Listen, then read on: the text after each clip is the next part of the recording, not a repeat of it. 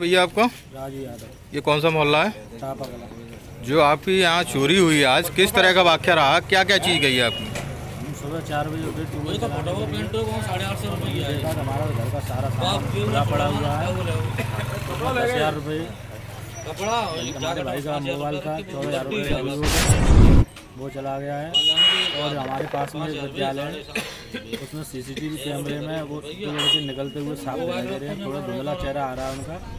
यही वाक्य हुआ कित, कितना सामान गया है आपके यहाँ से? दस हज़ार रुपये गए हैं भैया के कपड़े गए हैं सारे और भतीजों के कपड़े हैं मोबाइल है। आपके अंदाजे चोर किधर से आए थे? हमारे अंदाजे इधर से इधर गली में से गेट के अंदर से आए हैं और उधर से निकले हैं। कितने थे वो चोर? दो लोग। आपको कैसे मालूम पड़ा? सीसीटीवी कैमरे में हमको दिखाई दे रहे हैं दो लोग निकलते हुए।